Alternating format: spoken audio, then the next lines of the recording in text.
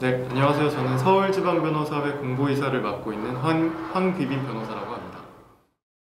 네, 이 변호사 정보센터 나의 변호사가 이제 오는 30일부터 본격적으로 서비스가 개시가 되잖아요. 간단한 소개 먼저 부탁드릴게요. 네, 나의 변호사 서비스는 국민들이 나에게 맞는 변호사를 찾을 수 있도록 도와주는 공공 플랫폼이라고 생각하시면 됩니다.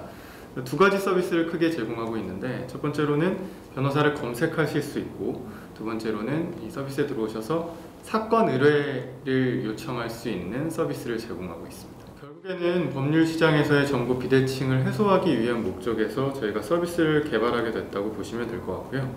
어, 아무래도 국민들이 법적인 문제가 생겼을 때 변호사가 필요할 때 이럴 때 주변에 변호사가 없는 분들이 많고 변호사를 찾으려면은 조금 어려움이 있습니다. 네, 이런 때 저희가 정확한 정보를 제공하고 내 사건에 잘 맞는 변호사님을 연결시켜 드릴 수 있도록 나의 변호사라는 공공 플랫폼을 제작하게 되었습니다.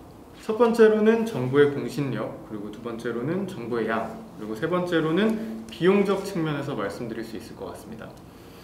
어, 순차로 제가 설명을 드리면 그 사설 플랫폼 같은 경우에는 결국에 돈을 벌어야 되는 구조이기 때문에 처음에 투자를 받을 때는 무료나 프로모션을 많이 하지만 결국 궁극적으로는 자신들한테 돈을 많이 낸 변호사들을 상위에 노출시켜주는 구조를 가질 수밖에 없습니다.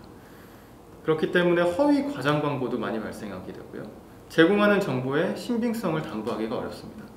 근데 반면에 저희 나의 변호사 같은 공공 플랫폼은 자본의 영향을 전혀 받지 않기 때문에 검증된 확실한 정보만 제공이 가능하다는데 확실한 차별적 강점이 있습니다.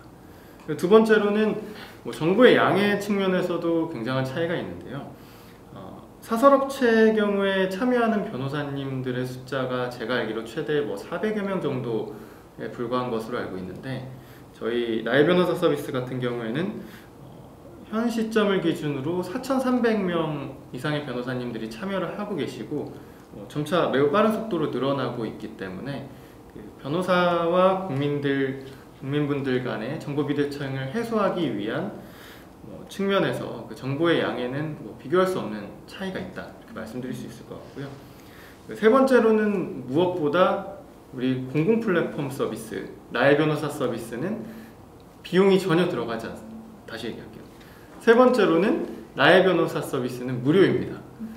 그 보통 사설업체에서 제공하는 플랫폼 같은 경우에는 뭐 당연히 수익을 창출해야 되기 때문에 뭐 국민들 네, 다시 말씀해 주세요. 방금 국민들 국민분들로부터건 국민분들로부터건 변호사님들로부터건 이익을 수취할 수밖에 없습니다. 그러니까 처음에 투자금을 받아서 시장을 장악한 단계에서는 투자금을 집행을 하지만 결국에는 어느 한쪽으로 건 비용을 전가할 수밖에 없는 거죠. 경제학적으로는 결국 그 비용은 최종 소비자에게 전가될 수밖에 없고요. 그런데 공공 플랫폼인 나의 변호사 서비스 같은 경우는 무료로 서비스를 제공하기 때문에 뭐 비용적인 측면에서 굉장히 압도적인 차별적 강점이 있다고 볼 수 있습니다. 보시면 되겠습니다. 그렇기 때문에 많은 분들의 도움이 필요합니다. 특히 초반에는 그이 서비스 자체가 잘 알려지지 않았기 때문에 뭐 많은 분들이 서로 입소문을 내주시고 편하게 이용하시면서 알려주시면 도움이 많이 될 것 같습니다. 어, 그렇지만 장기적으로는 제가 방금 설명드린 것처럼 압도적인 차별화된 강점이 많기 때문에 국민들과 변호사님들 모두에게 도움이 되는 서비스라는 점에서 결국에 잘 정착할 수 있을 것이라고 기대하고 있습니다.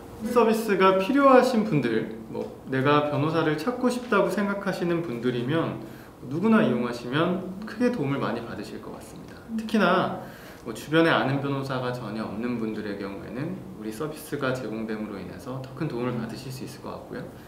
그리고 한편으로는 우리 언론에 계신 기자님들 같은 경우에도 어, 변호사님들 검색을 하시거나 뭐 기고 요청을 하시거나 뭐 멘트를 따신다거나 하실 때 뭐 저는 많은 도움을 받으실 수 있지 않을까 그렇게 생각하고 있습니다. 어, 예 맞습니다. 특히 청년 변호사님들 같은 경우에는 스스로를 알리는데 큰 광고비를 집행하시기가 어렵기 때문에 우리 서비스를 통해서 본인을 알리고 수임을 하시는데 많은 도움을 받으실 수 있을 것이라고 기대하고 있습니다. 크게 세 가지 측면에서 많은 중점을 두고 개발을 했습니다. 첫 번째로는 결국에는 국민 여러분들께서 이 서비스를 이용을 해주셔야 되기 때문에 친근성과 편리성이 가장 중요하다고 생각했습니다. 그래서 인터페이스나 이런 부분에 있어서 편, 편안하게 이용하실 수 있도록 친근하게 여겨질 수 있도록 신경을 많이 썼고요. 두 번째로는 이 서비스가 변호사님들께도 도움이 되는 서비스가 될 수 있도록 저희가 심혈을 기울였고요.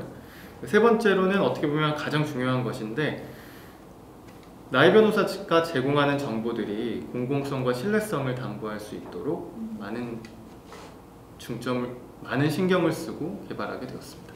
맞습니다. 그 피드백 기간 동안에 저희 서비스가 더 보완이 되었는데요. 어, 가장 큰 부분은 소송의 업무를 의뢰하는 기능이 추가되었습니다. 그러니까 기존의 베타 서비스 때는 소송 사건, 어, 흔히들 얘기하는 송무 사건을 위주로 사건 의뢰하는 서비스를 저희가 뭐 준비를 했었는데요. 변호사님들로부터 베타 서비스 기간 동안 변호사님들이 하는 업무가 소송만 있는 것이 아니기 때문에 어, 다양한 법률 자문이나 뭐 강연이나 세미나, 뭐 집필 이런 것들에 있어서도 그 변호사님들을 찾는 분들이 변호사님을 만날 수 있는 그런 공간이 있었으면 좋겠다라는 의견을 받아서 소송의 업무 의뢰하기라는 코너를 신설해서 그 부분을 반영을 했습니다. 그 외에는 서버의 안정성이라든지 뭐 세부적인 기술적인 서비스를 저희가 개선했습니다. 네, 저희 서비스 같은 경우에는 공공 플랫폼이기 때문에 추후에 비용이 부담될 이유도 없고 변호사 비용 법률 보수가 높아지게 될 우려도 없습니다. 정확한 정보를 제공하기 때문에 많은 분들이 편하게 이용하시고 어, 좋은 후기 들려주시면 좋을 것 같습니다.